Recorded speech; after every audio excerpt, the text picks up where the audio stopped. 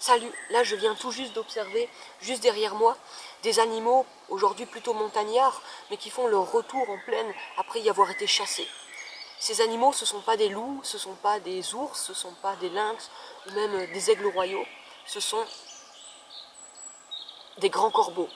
Les grands corbeaux, ce sont des oiseaux fascinants de par leur intelligence, des oiseaux vraiment assez gros, euh, plus gros qu'une buse, à peu près la taille d'un milan, donc euh, plus grand que les corneilles ou les corbeaux-freux qu'on observe communément.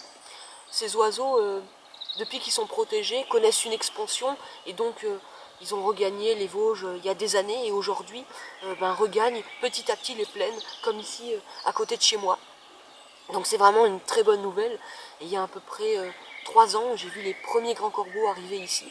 Et là, euh, aujourd'hui, j'ai la certitude qu'ils se sont bel et bien installés parce que j'ai pu observer trois jeunes. Donc je suis vraiment content de cette observation.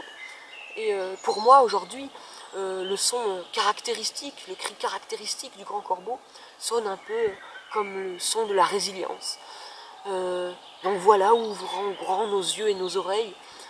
Peut-être aurez-vous l'occasion de voir le retour du grand corbeau.